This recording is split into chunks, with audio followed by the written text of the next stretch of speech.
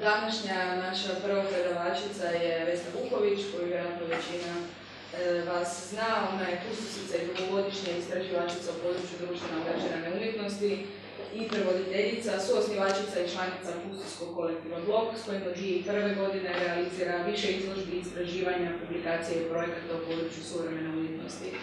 Među izvojenim kustovskim angažmanima su Urban Festival serija intervencije u javnim prostorima, Novac, Jučer, Sutra, Problem umjetnosti kolektiva Slučaj Zemlja i tako dalje. Kao gošća predavačica predavala je na Akademiji likovnih umjetnosti u Zagrebu i Umjetničkoj akademiji u Splitu, ali u sklopu brojnih van institucionalnih obrazovnih programa, među kojima i blokova Politička škola za umjetnike, kultur puntova, novinarska škola, žensko-studijski obrazovni program i tako dalje. Tekstove objavljaju u stručnim publikacijama u zemlji i inozemstvu, poput života umjetnosti, frakcija, teorija koja koda, ali kritike i osvrte na web portalu Le Monde Diplomatique i na HRT-u. Autorica je dvaju predgovora umjetničkim monografijama, Sanja Iveković, Biser i revolucije, Bojan Mrđenović, Toplice, te urednica nekoliko publikacija u području suvremena umjetnosti. Od književnih prijevoda svakako možemo izdvojiti Johna Bergera, Heinera Millera, Petera Weissa, Vlada Kristla eh, i tako dalje. I danas će nam u sklopu antiakademističkog seminara držati predavanje pod indikativnim naslovom Politika umjetnosti, sistemska kritika i simbolička gesta. Vesna. Eh, dobro večer. Eh, hvala Karolini na pozivu i predstavljanju.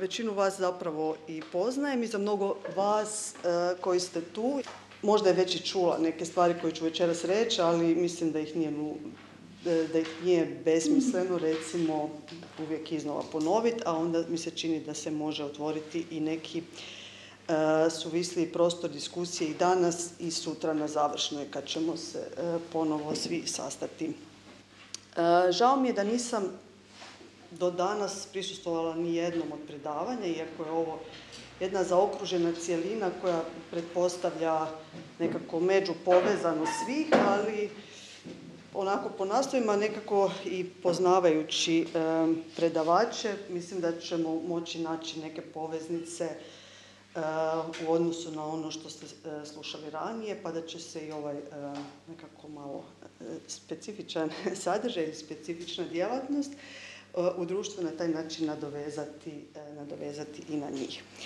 Um, željela bih započeti sa jednim uh, primjerom. Da li neko zna što je ovo? Vidim ovo rečenice. Ja sam čula za to, ne znam Evo ja ću pročitati. Nešto da su svi različiti jednaki. Ok, što vidite recimo na ovom? Ajmo tako krenuti. Na šta, šta, šta vam je ovo? Na šta vas ovo podsjeća? Šta ovdje vidite? Evo, ne zna niko, znači o čemu se radi. Ako neko zna, nek mi samo digne ruku, čisto da ti znaš što je. Ok. Jer nije nebitno e, i to, do, tog ćemo doći u sljedećem koraku. Na što, na što vam ovo liči? Mene je prva asocijacija e, žene pripadnika etničkih Aha, bravo. Točno. To je to, ono što se tu vidi. Znači vidimo, tu tekst, ja ću vam pročitati jer stvarno se vjerojatno slabo vidi, ne želim stalno paziti u kojem sam dijelu grada zbog straha od rasističkih napada. Želim da me ljudi doživljavaju kao i svakog drugog čovjeka, a ne samo kao Roma. Želim posvojiti dijete sa svojom partnericom. Ne želim da se moja djeca stide govoriti arapski na cesti ili u tramvaju. I ovdje je malo se ne znam, mene osjećaju nelagodno ili okreću glavu. Znači tu vidimo neke jer vjerske, etničke, seksualne manjine, jel tako? Manjine, identitete. Dakle, ovo, šta biste rekli da ovo jest po svom formatu? Gdje ste ovo vidjeli? Gdje ovo možete vidjeti? Je li ovo namješta, je li ovo slika na platnu, je li ovo kompozicija, šta je ovo? Je li ovo časopis, ok. Ne tako nešto časopisa koji je onako govori. Pa, kao neka, da, da, reklama, ok. Osnovi ovaj plakat. Ovaj plakat, dakle, mogao bi biti u časopisu, apsolutno, kao ona neka ono, duplerica, itd. Ali u ovom slučaju konkretno je plakat i to plakat koji je izložen kao umjetnički rad ispred, prepoznajete zgradu umjetničkog paviljona u Zagrebu. Ovo je bilo 2020. znači prije ovog programa u kojem je paviljon stradao, pa sada sve izlažu kao program ispred paviljona, već kao, ajmo reći, kustosko-umjetnička odluka da se rad interpretira baš ovako. Znači kao panel, pano, reklamni pano, ispred, ispred institucije u sklopu, u sklopu izložbe.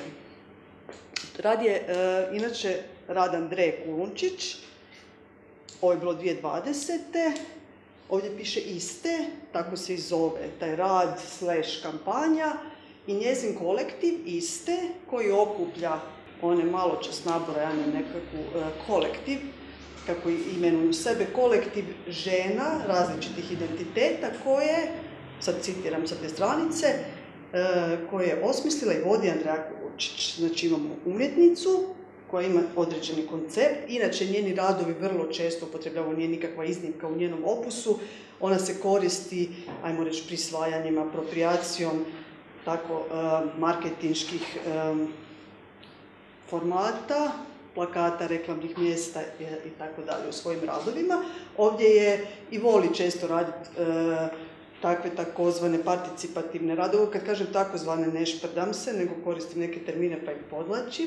E, znači, participativne radove u kojima sudjeluje, surađuje sa grupom, e, sa grupama, različitim grupama, ne nužno e, identitetskim zajednicama, nekad su to i stručnjaci iz nekih polja koji trebaju, poput sociologa, filozofa, programera i slično. Znači, taj tip neke kolektivne prakse, izlaska u javnost, korištenja, prisvajanja e, nekih neumjetničkih mjesta, ne mjesta, za umjetničke radove su e, specifičnost njenog, e, njenoga rada. On je izlagan inače i u galeriji, znači nije ostao samo tu. recimo, čisto za primjer kako to izgleda. Znači, ovaj rad koji smo ovdje vidjeli kao plakat i zamišljen u novinama, zapravo povremeno je e, bio izloženi kao ono, klasični e, izložbeni postav serija plakata na zidu uz prateći video, intervju, dokument, e, kako što. Krenula sam s ovim primjerom zapravo da nas uvedemo u nešto čime ćemo se danas baviti, rekli smo politika u umjetnosti. Pritom ću naravno razgovarati o onome što danas e, zovemo umjetnošću ili suvremenom umjetnošću, morat ću se vraćati po nekoliko koraka unazad da preispitamo neke i vidimo neki historijski razvoj naših predođbi o umjetnosti i njenim nekim vezama s politikom, ali u osnovi ćemo se vrtiti oko toga što danas, e, danas smatramo tim terminom suvremena umjetnost, ono što se na engleskom zove contemporary art. Ona je, vraćat ćemo se ovo pa nemojte da sad tu neke ovaj, riječi odmah jako zabrinu, znači sfera globalne umjetnosti. Dakle, nemamo više posla danas sa nacionalnim umjetničkim stilovima, kakve smo navikli ono pratiti kroz e, povijest umjetnosti do e, negdje 60. godina. Vratit ćemo se do toga zašto je to e, kada zapravo nastaje ono što danas poznajemo kao suvremena umjetnost. I e, znači, e, imamo posla sa tom svjetskom, globalnom, globaliziranom umjetnošću koja obilježava dvostruka transgresija, tako malo skraćeno. Što mislim po tom transgresijom dvostrukom ili nekim dvostrukim prijestupom u odnosu na ono što je umjetnost do tad predstavljala i na koji način se proizvodila i e, recipirala. Najprije formalno-tehnička, znači vidjeli smo na ovom primjeru da umjetnost može biti u tehničko-formalnom smislu bilo šta. Znači nemamo više posla sa stilovima, e, okršaje između različitih stilova, znači ovdje smo vidjeli neki plakat koji je mogao biti komotno i reklama za Benetton ili nešto tako, da nije bio u okviru izložbe, nikad ne bismo ni pomislili da je to nužno umjetnost. Znači šta? Okvir, institucija, izložba, umjetnički paviljon su ono što ju čini umjetnošću, taj rad. Sam po sebi, on po svojim formalno-tehničkim obilježjima nema nikakve specifično umjetničke kvalitete. Također ni sadržajem, što god sadržaj umjetnosti bio, ali u suvremenoj umjetnosti on doista u tom smislu nije propisan, kao što je bio propisan u nekim starijim razdobljima, pritom mislim na doista starija razdoblja, ono čak i prije 19. stoljeća. Sjetite se nekih sakralne, srednjovjekovne umjetnosti i tako dalje, doista imate ono teme, likove, način reprezentacije i tako dalje. Toga u suvremenoj umjetnosti svega skupa nema. Ona je, rekli smo, i anacionalna i u proizvodnji, i u cirkulaciji, i u recepciji. Radit ćemo se na tome i na kraju. Ono što sam već malo prije ispomenula, taj kompleks zvan suvremena umjetnost započinje institucionalizacijom avangarde. Šta sad to treba biti? E, avangarde svi otprilike znamo i smještamo ih kao historijsku pojavu prve polovice 20. stoljeća, ranog 20. stoljeća. Hm? Ok? Hm? Futurizam, dadaizam, ok, ok. Institucionalizacija avangarde, doći ćemo do toga, nije isto što je historijska avangarda, nego trenutak u kojem one bivaju institucionalizirane ili kooptirane ili uvrštene u ono što zovemo danas institucijom umjetnosti. Ona je prema teoretičaru do kojeg ćemo doći sad u sljedećem koraku, ujedno Peter Bürger, završni korak u procesu autonomizacije. Vjerojatno ste, ako i niste o tome razmišljali, sigurno ste se s time susreli, s tom dominantnom predođbom o umjetnosti, šta ona jest, a to je da je to neka zasebna sfera djelatnosti, koja je skroz drugčija od ostalih tipova djelatnosti i poslova kojim se možete baviti. To je dominantna predođba. Ne govorimo o tome da od njoj možemo misliti ovo i ono, možemo i kritizirati što upravo i radimo, ali dominantna predođba, način na koji su, eh, je strukturirano i to kako se umjetnost proizvodi, kako se podučava, kako se u nju ulazi, kako se ona kritizira, kako se ona upisuje u povijest, pa onda predaje kao povijest umjetnosti, ona se zahvaća kao nešto vrlo, vrlo specifično. Ne samo specifično i izdvojeno, nego doslovce malo i mistificirano, je tako? Znate kako počinju umjetničke biografije. Od malih nogu imao je sklonost ka slikarstvu. Ne znamo kako je do toga došlo, se naprosto rodio s tim. I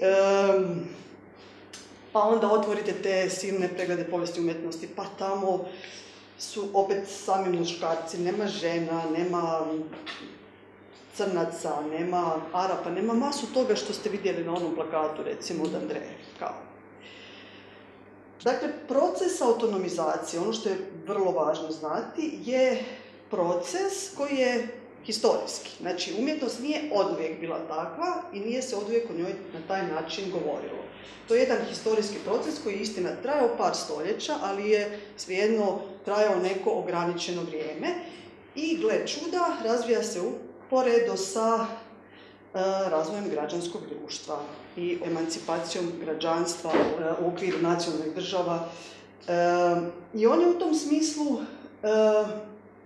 dominantna kategorija, ali istovremeno, odmah treba reći, i vrlo ideološka kategorija, jer se, kako što smo rekli malo prije, skrivajući se iza tih um, ideologema kao što su geni, talent, inspiracija, muze i tako dalje, ovaj, naprosto nekako mistificira i naturalizira stvari u smislu da ih čini prirodnima, urođenima, od nekud došlima, a ne društveno uvjetovanima.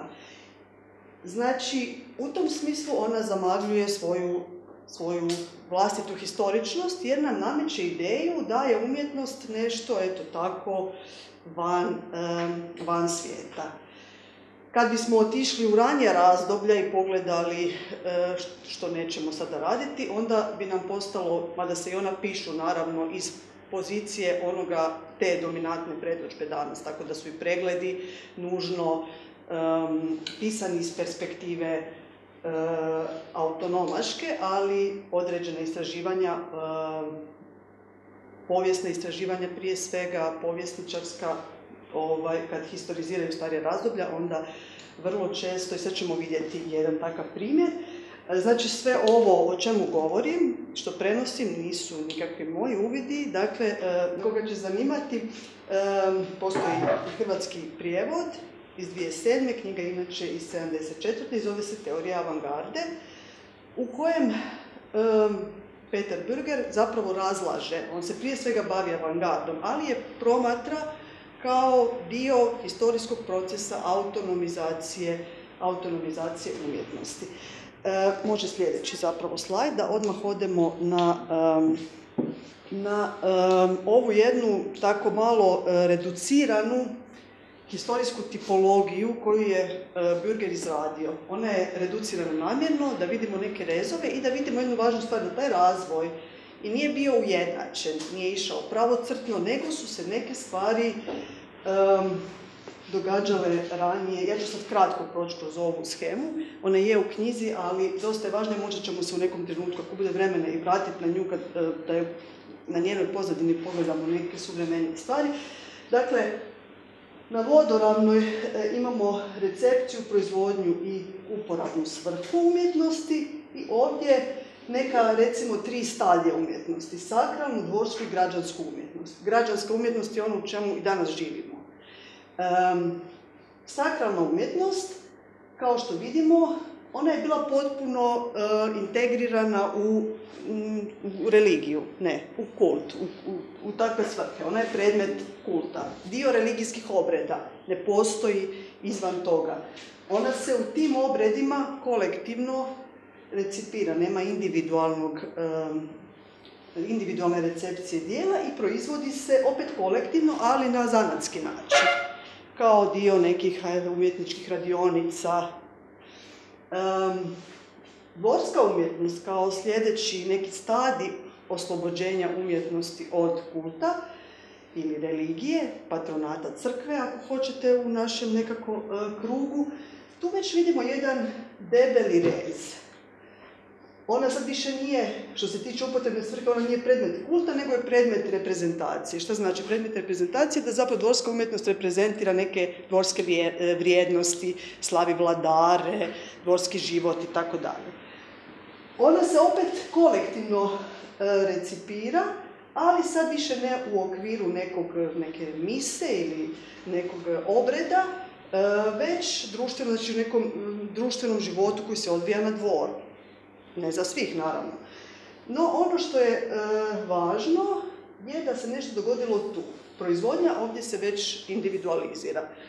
Nije to sad važno samo po sebi nečemu, moglo bi se otvoriti kao sasvim nova tema, ali nećemo se time baviti ono što je važno da vidimo da taj razvoj nije ujednačen.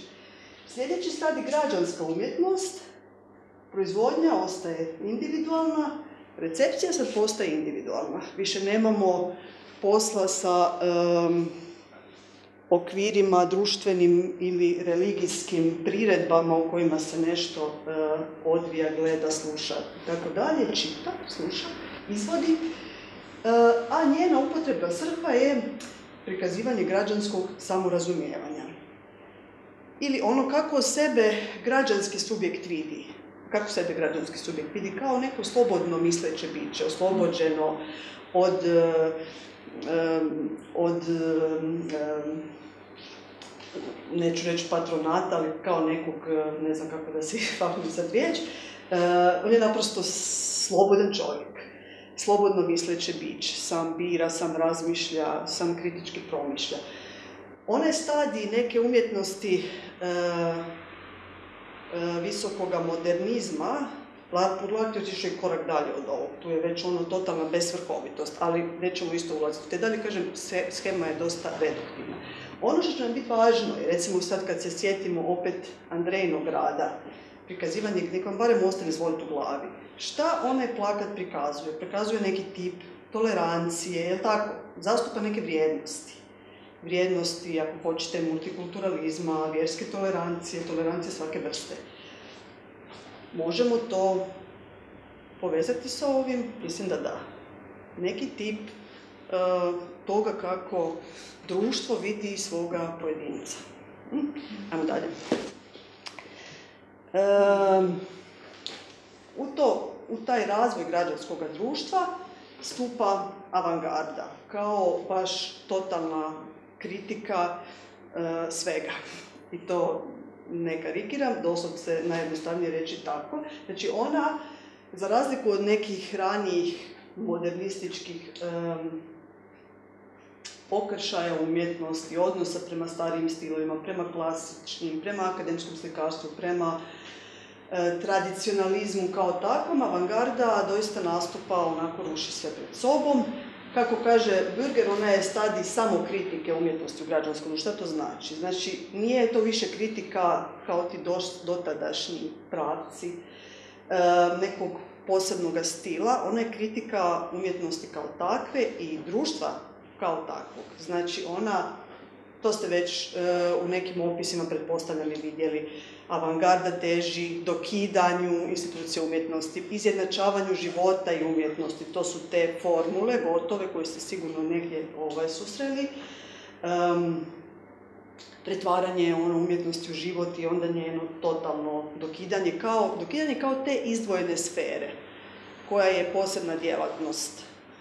E, Pričali ste sa Stipom po pitanju klase o, najamnom radu i o tome kako najamni rad e, stasa u kapitalizmu. Možemo povući paralelu e, ovdje zgodno pa reći da umjetnost baš se razvija za razliku od kapitalističkog podjele rada, odnosno u kapitalističkoj podjeli rada, umjetnost se razvija baš kao ta neka slobodna djelatnost. Djelatnost koja nije najamni rad, koja je eto, inspirirana nečim, živi nekako, vrlo je autonomna.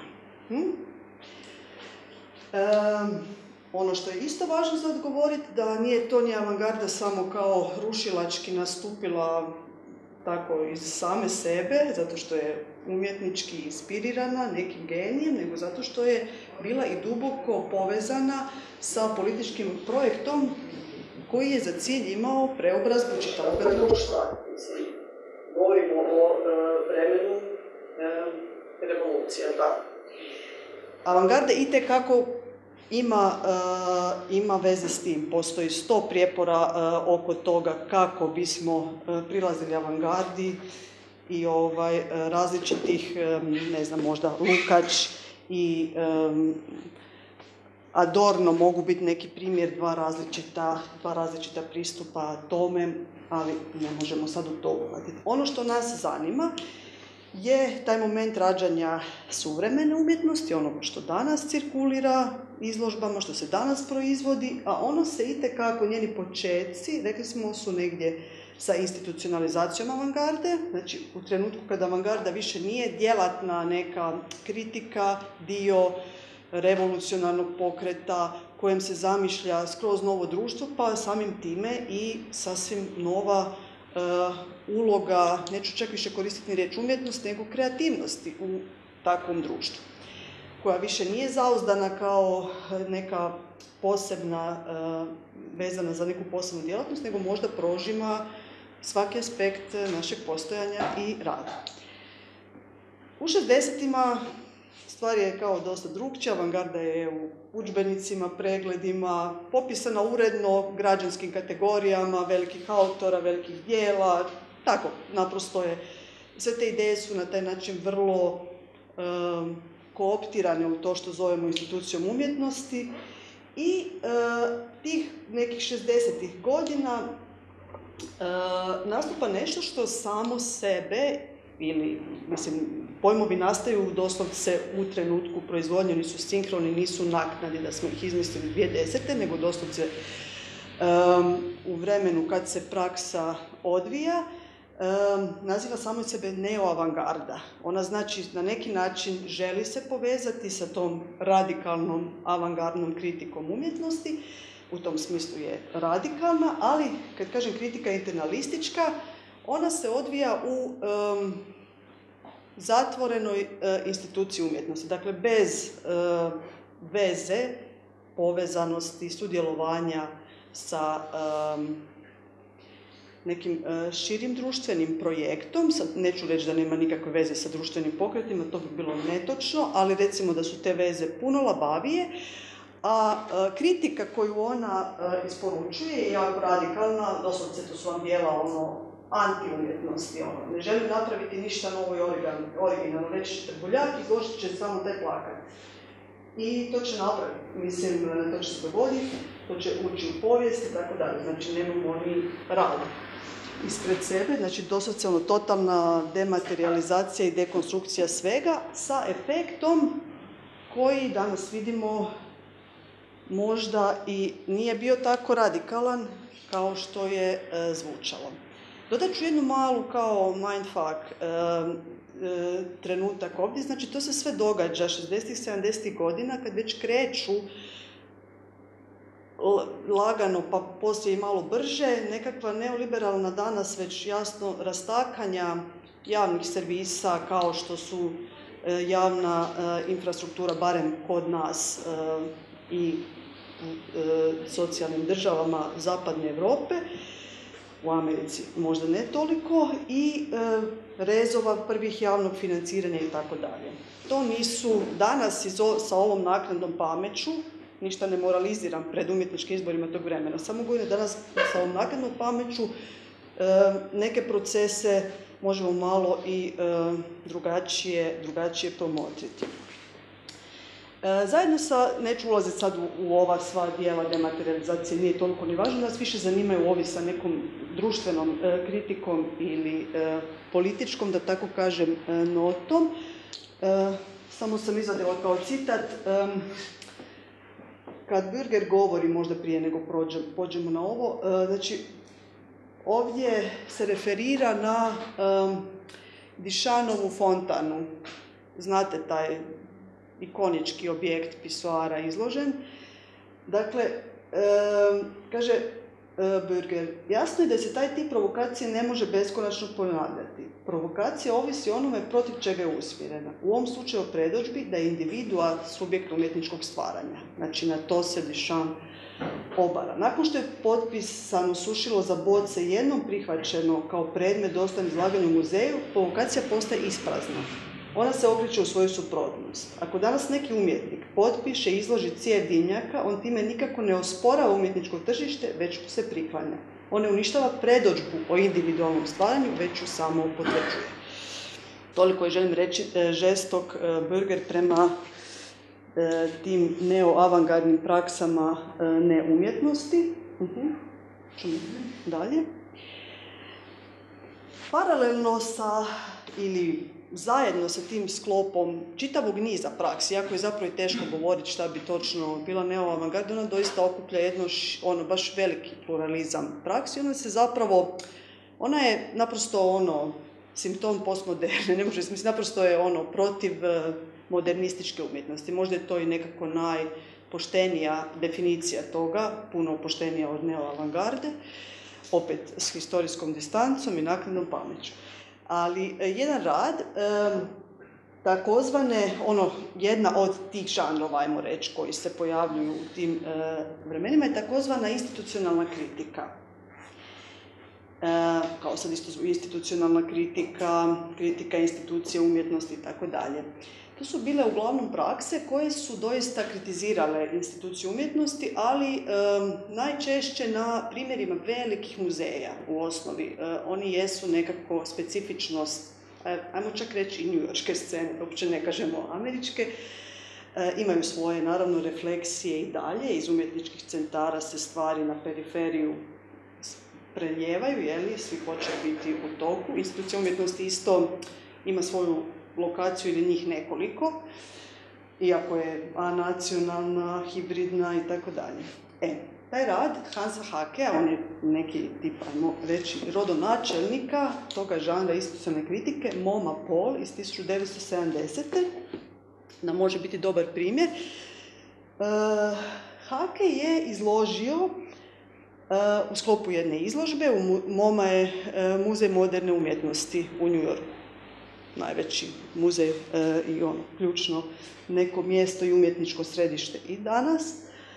E, izlaže ovako dvije kutije transparentne od pleksiglasa, a iznad je tekst, morat ćete mi vjerovati, nećete ga do tamo pročitati, ali na njemu stoji otprilike e, da li bi vas, da li bi to da ste znali da će guverner Rockefeller podržati ono što predsjednik Nixon u tom trenutku radi u Indokini, natjeralo da možda ne glasate za njega. Bez ovog možda. Odgovor je bio da ili ne, kuglice su se ubacivale u jednu ili drugu, uh, drugu uh, guverner Rockefeller nije tu bez veze, znači on je dugogodišnji guverner države New York, 59. do 73. i član borda i on je biznismen veliki i veliki financijer MOME. Znači taj tip kritike je i zadirao u ekonomiju i odnose moći koji grade određenu instituciju, ali opet jako ne samo zaustavljeno na instituciju da se vrlo često zaustavljeno na um, nekoliko ključnih velikih institucija. Uglavnom se priče vrte uh, uh, oko njujorskih muzeja. Naša, ja sam malo prije spomenula Trbuljaka, ne mogu sada to ulaziti, naša institucionalna kritika je vrlo specifična, to je sad priča za sebe, uh, na kojoj ona razini abstrakcije funkcionira u socijalističkoj Jugoslaviji, ali um, nećemo sada ulaziti u to, ovo ćemo samo staviti znači, na, za primjer toga e, kako izgleda tip intervencije u znači, umjetničkoj instituciji ovoga ranga. Sve to nije, mislim, sva ovaj tip i, i oštre, ajmo reći, kritike e, određenih e, moćnika koji itekako utječu na to šta MoMA prikazuje, čime se financira i tako dalje nije naišao na neku cenzuru ili nešto slično, mislim, on je naprosto tu, daje svakome da govori što hoće i misli, živimo u slobodnom društvu, učinak toga po Nixona je bio nikakav, po umjetnost isto tako. Ne moraliziram, samo želim da neke granice očekivanja ili ideje koje upisujemo u stvari dobiju nekako plastični okvir. Um, možemo preći možda na sljedeći primjer. Um, to je rad, opet imamo posla sa plakatom, kao i onaj prvi s kojim smo uh, ušli u uh, cijelu priču.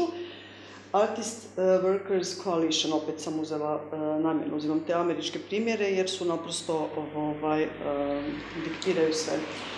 Um, Dakle, kao što i naslov Artist Workers Coalition, malo je čudan je da izbor riječi, umjetnik, radnik, sad odjednom, šta je to, nije više genije, nije talent, odjednom je radnik, jedna ta koalicija ili labava grupa umjetnika koja se opet okupila oko e, MOME i u nekoliko godina je organizirala razne akcije kojima je ukazivala na opet metodom nekakve institucionalne kritike, ali ne više samo na razini estetike, nego i doslovce e, nekim pokušajem da se organiziraju otvoreni plenumi. E, grupa je krenula tako da je jedan grčki umjetnik doslovce uzeo svoj rad iz mome i iznio ga vani.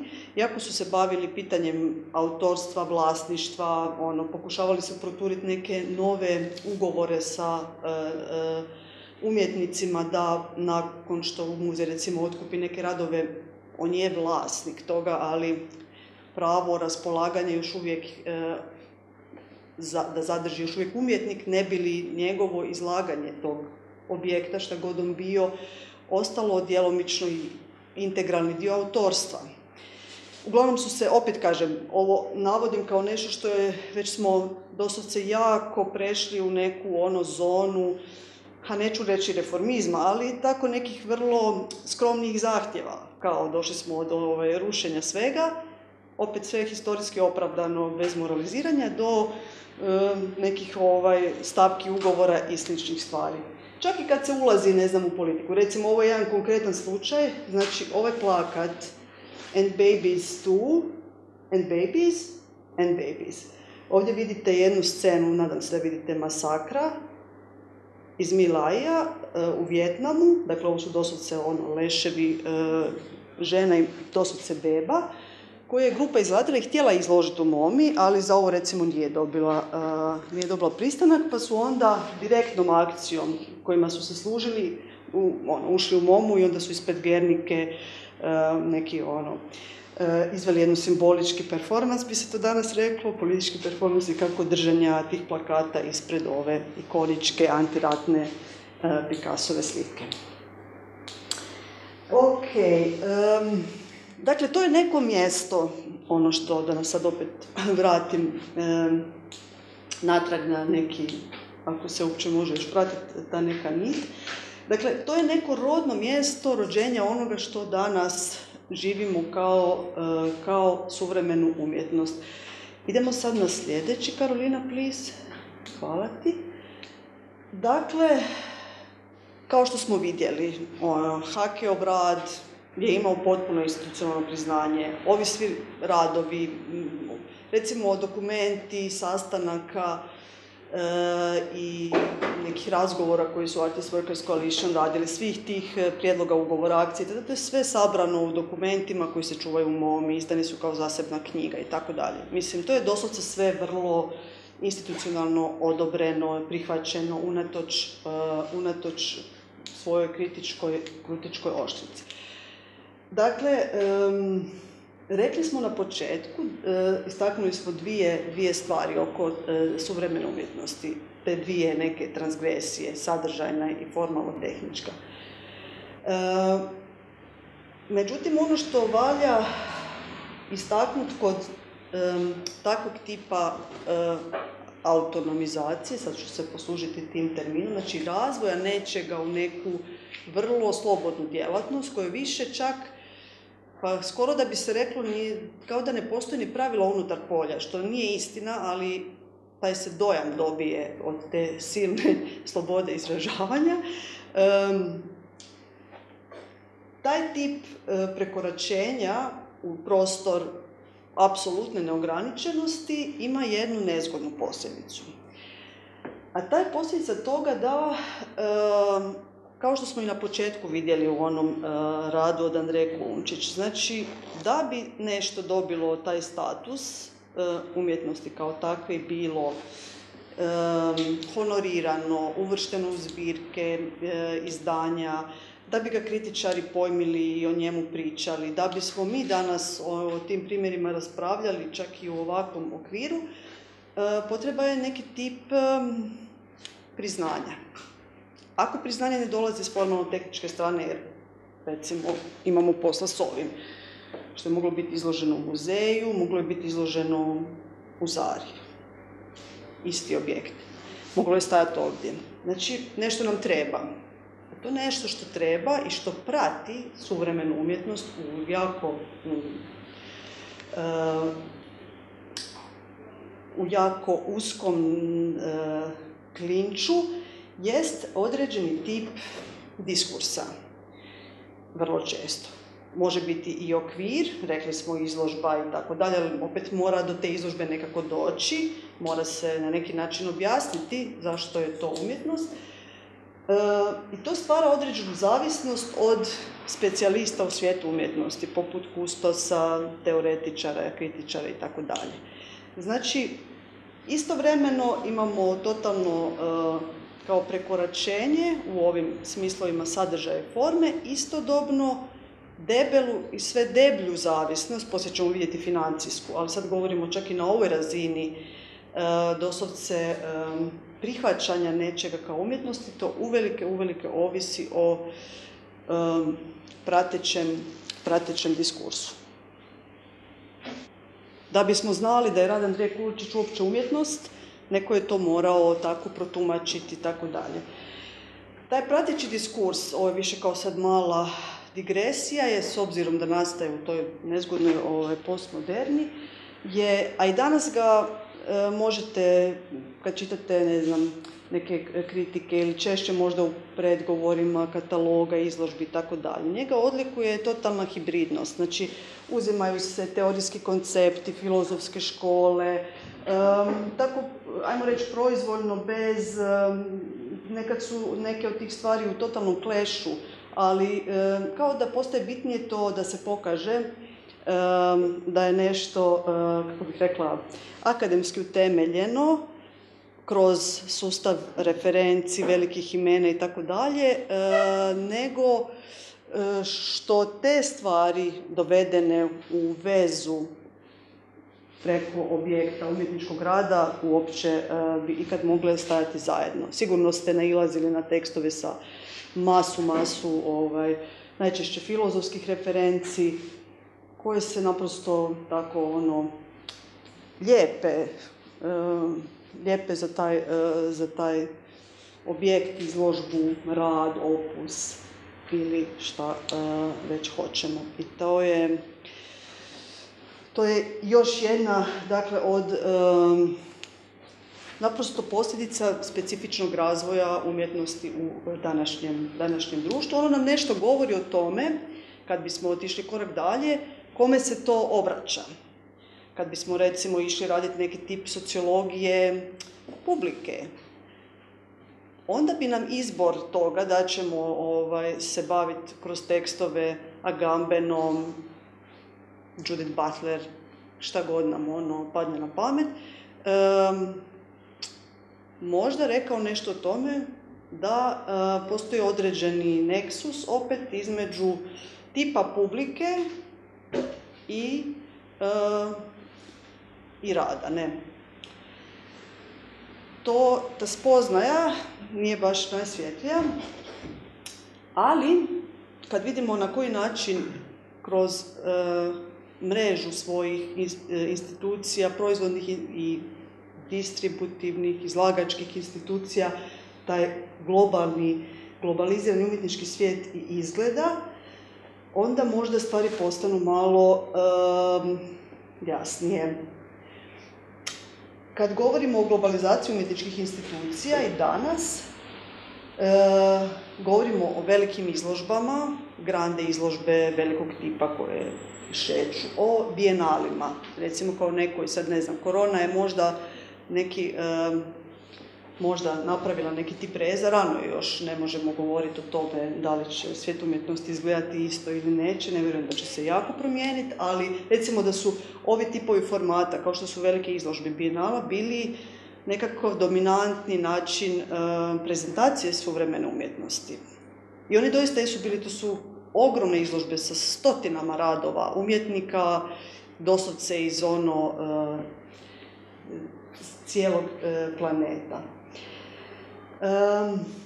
Tu su, da kako i veliki novi muzeji suvremene umjetnosti, evo i naš uh, skromni muzej može biti jedan primjer, ali mislim puno je uh, ikoničkih zgrada toga tipa koji su izgrađeni kao ogromna infrastruktura i kao neki tip e, turističke atrakcije, tako. To više nisu bili samo mjesta za izlaganje umjetnosti, za, ne znam, to da se nešto nauči o umjetnosti, da se, ne znam, dovedu škole, već i neki tip turističkih mamaca, znači za neku publiku koja će rado otići, ne znam, u Bilbao ili u New York i pogledati neku izložbu i tako. Uglavnom opet govorimo o nekoj bolje stojećoj ili srednjoj, srednjoj klasi ili o e, stručnjacima u polju koji su isto sastavni dio te publike.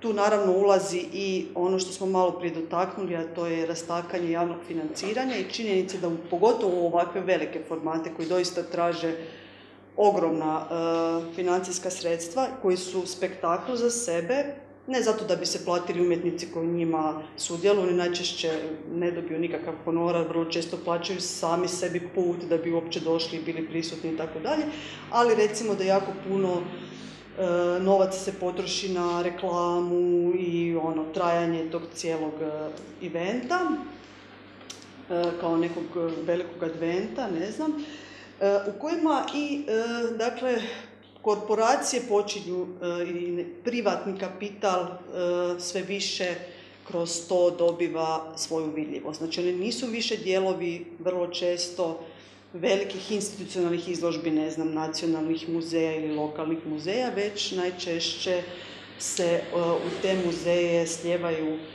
sljeva kapital iz, iz korporacije, nerijetko i kao neki tip ono, whitewashinga, tih e, zločestoća i tako dalje. E, umjetničko-akademski kompleks smo već dotaknuli, znači to je isto jedan, i to je isto neki tip ograđivanja ulaza ili kao gatekeeper, kako se to danas kaže, kao naprosto način na koji se govori, znači odjednom imamo, jako smo demokratizirali, ajmo sad još malo zaoštriti jako smo demokratizirali pristup proizvodnji, znači umjetnost može biti ništa, znači meni ne treba ništa, nikakva mi sredstva za proizvodnju, ne mogu kupiti šal, znači inspirirati se i staviti ga ovako. Organizirat ću to kako mi paše, radit ću to po noći, ujutro, bez para, nadahnuta, pijana, svejedno. Znači stavljam to tu. Ali, e, jako je, hoćeš da svak to može, želim reći. Neo avangarda je isto bila neki moment i mislim kad idete u, ne znam, analizu, barem ja mogu to napraviti za naše polje. Kad e, pogledate ko su, ti, ko su ta naša velika imena, toga što je ono suvremena umjetnost, su sve većinom ljudi koji nisu umjetnici po e, formalnom obrazovanju. Znači, taj neki tip odjednom demokratičnosti proizvodnje je dobio svoje naličje u diskursu koji apsolutno je usmjeren na neku obrazovanju elitu. Mislim, elitu ne u sociološkom smislu, ta elita može biti siromašna, ali je obrazovana.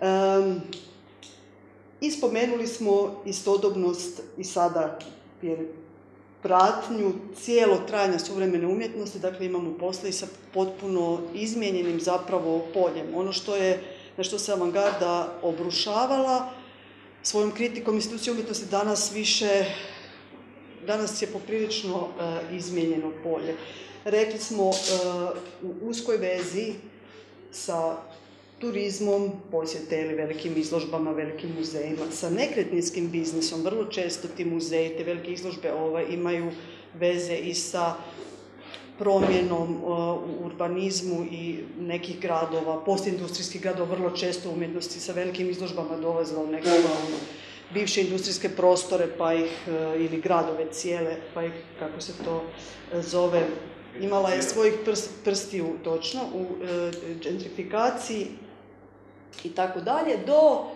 ono, da sad ne ulazimo sve skupa, e, do određenih e, ulaganja, je umjetnost je isto polje izuzeto iz poreznih priča, tako da, ali ok, ne možemo sad otvoriti to polje, ali hoću reći jako puno sprege s kapitalom, to je nekako point koji želim istaknuti.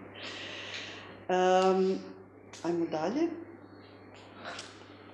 E, dakle, u tome nekom svijetu koji je tako sad djeluje poprilično, kao taj razvoj stvarno jako depresivno djeluje, bezizlazno, i kao, pojavilo se nešto što je, mislim, za mene bila neka e, tako poželjna i super intervencija, ona nije velika, ali, e, a to je jedan pamfletić e, pod nazivom 9,5 teza o umjetnosti i klasi. Inače, taj pamfletić, spomenula je Karolina političku školu. Taj pamfletić je i preveden i objavljen u ovoj e, knjižici političke škole iz 2017. i on je dostupan, dostupan je na tom linku, tako da možete, može vam Karolina poslati onako poslije prezentaciju, nije neka prezentacija, ali od nje možete kao taj link uzeti, e, pa e, možete i pročitati. Znači, Ben Davis je američki kritičar, i njegov pamflet je zapravo isto nastao kao dio jedne izložbe. Dakle, prije toga je bila jedna u New Yorkskom New Museumu je bila neka velika izložba nekog grčkog kolekcionara, onako nešto grandiozno, koji je kurirao ni manje ni više nego Jeff Koons. I onda je oko toga nekako, i to je ono, uh, Occupy Wall Street, moramo se i to sad smijestiti, znači neko isto vrijeme početka ono otvaranja nekih uh, tema u toj uh, specifičnoj sredini, početak priče o studentskim dugovima u kojima se nalazi jako puno američkih studenata, znači umjetnika koji ulaze, ajmo reći, u karijeru sa ono već kamenom do groba od duga, dakle, e, tu se nekako oformila oko te izložbe neka mala kritična masa, napravljena je jedna izložba koja se zvala hashtag klas, kao klasa. I u okviru te izložbe, tamo su bile razne te mape sa, ne znam, nekim ono, odnosima moći u, na toj sceni i tako dalje, je e, izložen kao i čitan, mislim da je bila neka radionica, i Davisov taj tekst pod nazivom Devet hipoteza o umjetnosti ili 9,5 teza o umjetnosti i klasi. On je, pa se sad opet možemo vratiti na onu priču o avangardama, pisan je kao programatski tekst, znači kao manifest, znači nešto što su i avangarde radile ili u svom nastojanju da sudjeluju u izgradnji nekog novog svijeta. Svi avangardni pokreti i grupe su imali svoje programatske i javno izlagane, diskutirane e, programatske tekstove. Šta se s ovim, što da se radi, šta se s ovim radi. Za razliku je li od, e, opet sad da vratimo na institucionalnu kritiku, neoavangardu, dakle gdje imamo kritiku koja je suvisla i na mjestu, ali ona kritika jednog individualca koji eto, izražava e, svoje kritičko mišljenje uz totalno pomazanje institucije koju kritizira. ono što je s ovim tekstom kao super je to da nakon dugo vremena zapravo vraća pitanje rada i pitanje klase u umjetnost. Znači o tome se uglavnom u cijelom ovom razvoju suvremene umjetnosti baš i nije pričalo. Ako bi se ispomenuo neki marksistička kritika umjetnosti, onda se to uglavnom radilo kao neka šprnja ili kritika toga kako eto, ne možemo sve svesti na klasu, totalni ste ono, totalni neki ovaj, redukcionizam i to se olako, olako odbacilo. Ne. Nakon dugo vremena neko je ponovo ovaj, otvorio, otvorio to pitanje i to je neki, ajmo reći, zanimljiv i obećavajući simptom, koliko god da je tekstić, tekstić kratak. Dvije su bitne stvari, proćemo sad kroz nekoliko teza. Znači, on je pisan kao manifest od tih teza. Teza je 9,5. Svaka teza je uglavnom obrađena, on ima svoj broj 1, 2, 3, 4, 5, pa 1, 1, 1, 2 do 1, 9. Onda prelazimo na 2. To je struktura ovog teksta. I svaka teza u osnovi razlaže tu naslovnu, naslovnu tezu. Teza je zapravo 9, onda se one dole uh, strukturiraju u neki tip razrade te recimo vrlo kratke teze. Evo prva je pitanje klase od fundamentalne važnosti za umjetnost. Točka. Ali u sljedećih e, devet e, točaka će e, to pitanje izraditi. Hoću samo još jednu stvar spomenuti. Ono što je jako važno reći, znači pitanje klase, pitanje umjetničkog rada i njegovog specifičnog karaktera. Spomenuli smo malo prije kako se je institucija umjetnosti, kako danas poznajemo, razvijala ovako se odvajajući od e, predođbe koju imamo i od dominantnog recimo načina, e, dominantne podjele rada u društvu, e, klasa, rad i na neki način vidjet ćemo na kraju Davis otvara i neke perspektive mogućeg, mogućeg borbe u takvom jednom, kako će sam reći, srednjeklasnom okruženju. On uglavnom govori o vizualnim umjetnostima, tu isto trebam staviti malo ogradu oko toga da možda ne vrijede sve stvari za sve discipline, ali trenutno naprosto ne možemo ulaziti u sve specifičnosti svake od discipline i subdisciplina umjetničkih, pa ćemo se zadržati na ovom e, materijalu. E, dakle, Ajmo sad pogledati što kaže Davis. Ok, pitanje klase od fundamentalne važnosti. Ja sam samo izdvojila, znači teza ima deset, ja sam izabrala nekoliko jer nemamo vremena da ih se prolazimo, možemo o tome u nekoj drugoj prilici. Budući da različite klase imaju različite interese, s tim se možemo složiti, i da ti različiti interesi djeluju na umjetnost, ona ima različite vrijednosti, ovisno o tome s kojoj se klasne pozicije pristupa. Jel da, sad smo opet vratili neku historičnost, umjetnost, ne govorimo više o nekoj sferi ideja i slobodnog e, ekspresije i tako dalje, nego nešto što se može gledati ovako i onako i da stvari gledamo ovako i onako motivirano, jel tako? Nije svejedno kao taj gledatelj ima svoje tijelo, ima svoju klasnu poziciju, ima svoj, svoju seksualnu orijentaciju, ima koješta, ima svoje obrazovanje, ima svoju e, čitav niz e, identitetskih određenja, izbora koje ga onda i motiviraju da oni nisu nevini u promatranju? Oni su svi Razumjeti umjetnost znači razumjeti klasne odnose izvan sfere umjetnosti, vizualnih, jeli, i načine na koje oni djeluju na tu sferu, kao i razumjeti klasne odnose unutar same sfere vizualnih umjetnosti. Ovo mi je bilo dosta važno reći. Kao prvo, ok, razumjeti klasne odnose izvan sfere vizualnih umjetnosti, do toga ćemo još u nekim radovima i doći. To nije nešto što će možda izostati kao sadržaj ili tema određenih umjetničkih rada. Ali ovo drugo, razumjeti klasne odnose unutar same sfere vizualnih umjetnosti, to jako mm, rijetko ili nikada skoro ne dolazi do... Mislim, ta percepcija umjetnosti kao neke slobodne sfere izražavanja ima za posljedicu to da ona postaje neko eh, mjesto gotovo kao neko pitoreskno mjesto gdje su svi jednaki, sve tolerantni, sve dobro. A naravno, mislim, budući da je umjetnost dio društva i e, umjetnosti i e, u njenim institucijama, među njenim proizvođačima, njenim publici postoje ono isto tako klasne razlike. To je jedan od problema organizacije kad se govori o, ne znam, udruživanju umjetnika, o potencijalnim sindikalnom, o, danas se puno govori konačno i o umjetničkom radu i tako dalje. A jedan od problema udruživanja po principu discipline, koje umjetnosti pripadate, čime se bavite i isto tako i činjenica da su klasne razlike među članovima društava nekad e, u totalnom konfliktu. I da su vrlo često klasni neprijatelji u istom udruženju. Ne? I u tom smislu je, e, znači ne postoji neka ono e, određena cijena rada itd. itd. Hoću reći, stvari se događaju po nekim odnosima moći koji su svi razumljivi jer postoje i u drugim društvenim sferama. Problem je to što dominantna predožba nam stalno hoće reći, način na koji se govori o tome, da toga u umjetnosti nema. A tu je.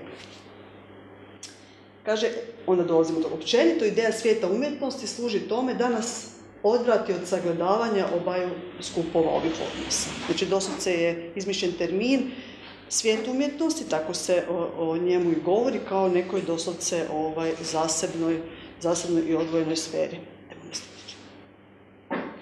E, druga je ful zanimljiva, ali nećemo je proći, ali vam samo skrećem sad pažnju kad bude, jer ona govori o, e, o nabraja zapravo čitav niz funkcija koje umjetnost može e, vršiti, pa vam samo skrećem pažnju kad budete čitali da ju pogledate. u smjeru onoga, mislim, dosta je dobro razrađeno i puno dalje od onog da kažemo, znaš, umjetnost je, ne znam, odraz društva, pa ćemo u njemu naći ovo i ovo i ovo. Vrlo je,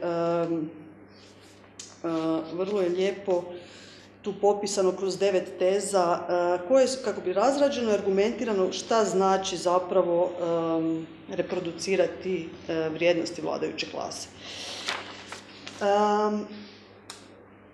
Iako je ideologija vladajuće klase najdominantnija u sferi umjetnosti, umjetnost je srednjoklasnog karaktera. E, Šta to, e, to je neka od stvari koju e, Davis stalno ponavlja i ističe i onda se pojašnjava u sljedeću. Srednja klasa u ovom kontekstu ne označava razinu prihoda. Znači, nema veze. Neki umjetnici stvarno on, ne zarađuju ništa, a neki zarađuju više. Ona ukazuje na odnos prema radu i sredstvima za proizvodnju. Pod srednjom klasom ovdje se podrazumijeva tip rada. Samostalni rad, znači ne najamni rad, samostalni rad, E, koliko je on samostalan e, u okvirima, ne znam, projektnih financiranja i to, možemo otvoriti raspravu e, u kad konačno završim s ovim, jer, kažem,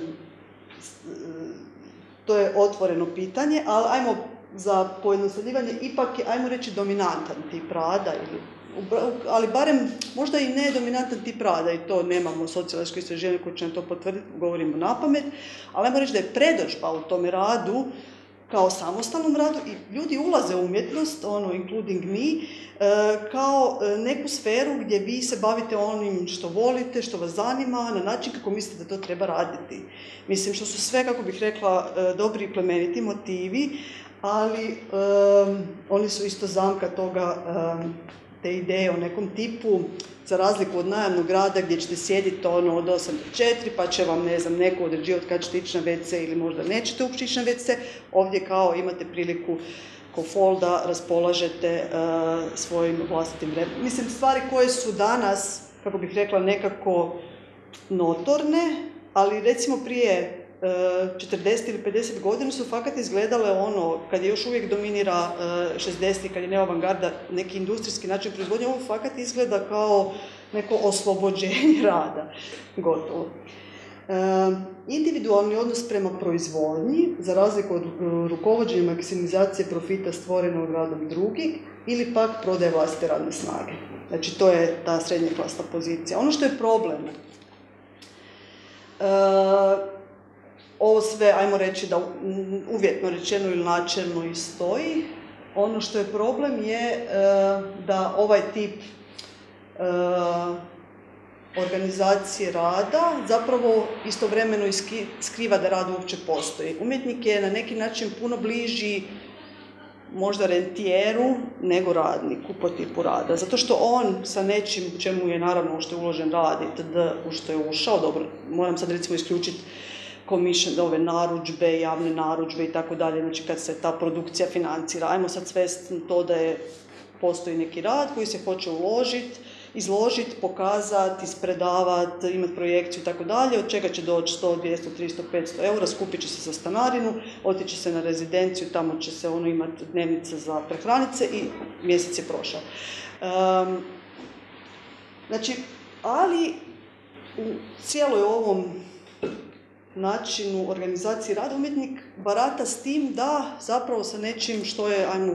sad skoro reći, pa neki gotov proizvod koji je nastao e, tako nekim mističnim putem, nadahnućen talentom, genijom, koji on, s kojim onda on spekulira šta će napraviti. Da li će ga prijaviti na nagradu THT-a pa uzeti 10.000 eura? Je li mu možda bolje da ga proda uh, Erste, uh, kolekcije Erste banke pa dobije tri, ali sigurno će dobiti jer ovdje možda neće dobiti prvu nagradu. Mislim, doista umjetnici jesu suočeni s tim tipom odluka. Da li će otići na izložbu koja je super, a nema novaca pa neće dobiti honorar, ili će otići negdje gdje mu se možda taj okvir neće svidjeti, ali će do, Dakle, to su neki izbori koji su sad već lagano ono, neki tip, drugo, drugi tip spekulacije ne, oko toga. E, ok, ajmo sad, e, već je 18.56, ajmo još otići na sljedeću pa ću onda završiti pa možemo nastaviti raspravu. E, ono što sam rekla da e, Davis na neki način i otvara, sad idemo konačno korak prema tome pa i prema kraju, jedna od stvari koju konstatira kao četvrte tezi, e, sfera vizualnih, najprije rekao u trećoj, to je srednjoklasni karakter rada, znači nije ni kapitalistički, nije ni najamni rad, e, prodaja vlastite radne snage za život, nego neki ono, spekulacija svojim nekim umjećem, proizvodom, vještinom, statusom, svašta. Sfera vizualnih umjetnosti ima slabe veze s radničkom klasom, točka. Četvrta teza. I onda kaže, radnička klasa se ovdje definira, dobro, to smo ovdje i čuli, od onih radnika koji su primorani prodavati svoju radnu snagu kako bi preživjeli. Te stoga nemaju individualnog udjela u svom radu. Umjetnik, čak i kad besplatno, kako bih rekla, e, da svoj rad i to, on zadržava autorstvo. On zadržava intimnu vezu s proizvodom. Vi kad ste radnik, vi ste odradili to pripada onome koje je vaš rad naručio ne pripada taj proizvod vama, vi ne smijete ni uzeti, mislim, ne znam, cipelu koju ste izradili doma, ne, ne, na izlasku. u tom smislu je razlika velika.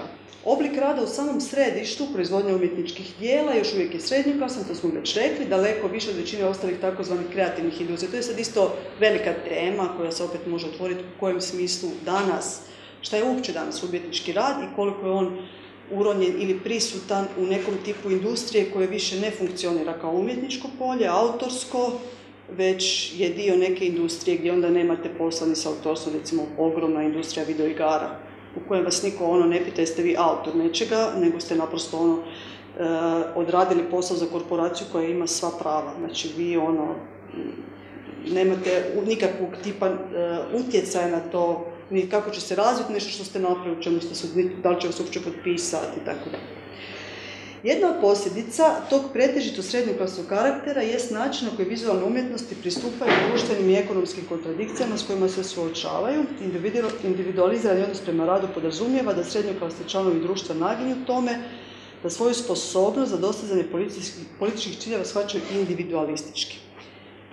Jer to e, prepoznajemo, prepoznajemo u aktivizmu recimo, to je isto jedna ono, rak rana takvog tipa političke akcije, jer on je isto visoko individualan, on je isto vrlo karakteran, može se čak povući neka labava paralela sa umjetnošću, ne, to su sve neki osrašćeni karakteri um, iz individualne intelektualne sposobnosti, osobnosti ili retorike. Um, istovremeno, koliko god da su slabe veze s radničkom klasom u smislu uh, strukturne pozicije, Veze s radničkom klasom postoje, ono, postoje po porijeklu, postoje, može se raditi veza preko publike, recimo, postoje, postoje veze s radničkom klasom u vrlo bliskom doticaju, mislim, te prostore u krajnjoj liniji neko čisti, posprema, jel da? Neko, ne znam, izrađuje i farba zidove za ovo, neko odnosi smeće, neko izrađuje kistove boje, čak i ako radite sami u ateljevu, to je došlo do vas nekako i došlo je nekim najamnim radom, ili tako. Vrlo eksploatiranim. Znači, postoje vrlo taktilne i opipljive, čvrste veze koje se vrlo rijetko. Recimo da sad opet vratim na onaj slučaj uh, Artist Workers Coalition. Znači istovremeno se napada MoMA, ugovori i tako dalje. Istovremeno čistačice koje tamo rade su već ono na nekim agencijskim ugovorima tako to, ali to nije dijapazon uh, brige. Nema tog vrste uh, uopće odnosa prema tome da je i to dio institucije umjetnosti. Ima u nekim rijetkim radovima, ali uh, ajmo ovako vulgarizirati da nema. I ajmo sada još samo za kraj par stvari. Sa čime zaključuje, da se vratimo i na sami nekako naslov, sa čime zaključuje prije u, toj osmoj tezi ima čitav neki niz zahtjeva kojim bi se moglo malo reformirati, pa bacite oko u nekom trenutku i na to. E, Davis zaključuje dakle s tom devetom tezom i kaže ipak umjetnost ne treba ni tek tako olako otpisati u smislu svega ovog što smo tako e, izgovorili danas o njezinoj nemoći, isprepletenosti s kapitalom, društvenoj uvjetovanosti, visoko individualiziranom polju, potpuno obesvještenih umjetnika i tako dalje. Nije skroz tako, mada je dominantno tako, ali nije 100%. Kaže Davis, umjetnost je ipak važan simbolički prostor. On nema stvarnu djelatnu moć, naravno. Stvarnu djelatnu moć za njega, e, njemu je posve jasno, ima doslovce ovaj tip društvenog pokreta koji teži promjeni društvenih odnosa. I e, u tom smislu on kaže umjetnost može i treba, ako želi e, biti politički djelatna, povezati se sa borbama izvan sfere umjetnosti. Mislim, to znači najprije organizirati borbu unutar, ne mislim povezati se na simboličkoj razini u smislu reprezentacije i tako dalje, nego doista određene procese u polju i njihovu kritiku i organizaciju otpora prema čitavom nizu eksploatacija povezati sa sličnim borbama u drugim neautonomnim društvenim djelatnostima. Evo, sad ću s time završiti, možemo, uh, dok ne dođe Nikola, izbaci nas uh, još popričati. Hvala vam.